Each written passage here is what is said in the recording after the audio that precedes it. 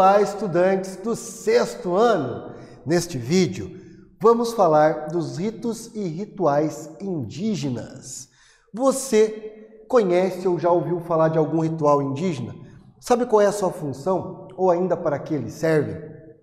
Assim como em outras culturas, os rituais são muito importantes para os indígenas, mas principalmente para os povos indígenas, eles ajudam a manter a tradição e a cultura, já que eles não têm texto sagrado escrito. Então são os rituais que mantêm a sabedoria e a tradição. Existem diversos tipos de rituais indígenas, como iniciação, fúnebre, cura de passagem, entre outros.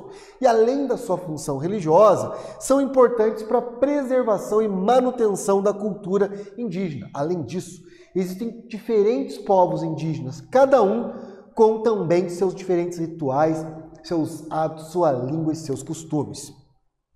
Um dos rituais mais significativos dos povos indígenas são os rituais de passagem. Um exemplo é a furação do lábio inferior, onde as crianças passam para a fase adulta, como nesta foto, e isso acontece na primeira iniciação dos meninos no Carajá, Mato Grosso. Então, os indígenas Carajá, quando o menino faz a primeira iniciação, ele faz a furação do lábio inferior. Ele demonstra aí coragem, valentia, ele precisa demonstrar coragem e valentia. Furam ali, colocam um adorno, e ele demonstrando isso, ele demonstra que ele está pronto para ser um jovem guerreiro do seu povo.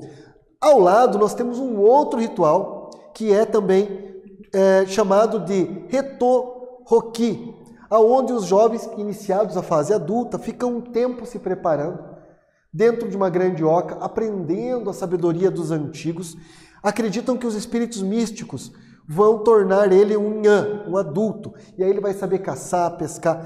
Também aprendem nesse ritual a respeitar os antepassados, respeitar os mais velhos, respeitar a natureza e aprendem toda a cultura. Depois que eles saem, fazem uma grande festa e quando eles tiram esse ornamento criado para isso, ele já é recebido então como um adulto da sua, do seu povo, da sua aldeia.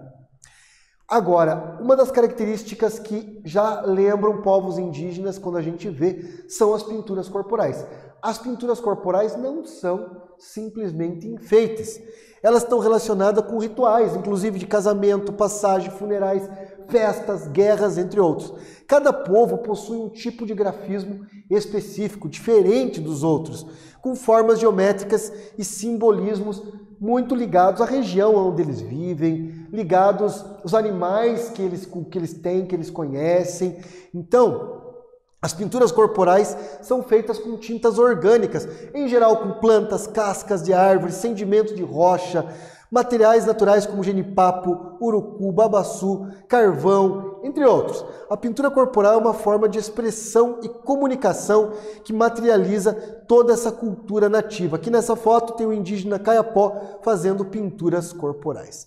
Um ritual muito conhecido dos indígenas brasileiros são o Quarupi. Quarupi acontece no Alto Xingu.